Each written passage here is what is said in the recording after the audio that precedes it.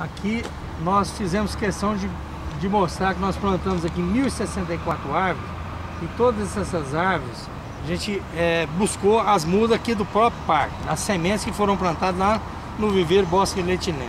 Ali nós temos o bosque da comunicação que foi até a solicitação dos jornalistas, dos repórteres, para criar o bosque. Está aí, nós cultivando esse bosque realmente vai ficar bonito. Então vale a pena vir conferir esse bosque é, da comunicação, como nós criamos também o bosque do advogado.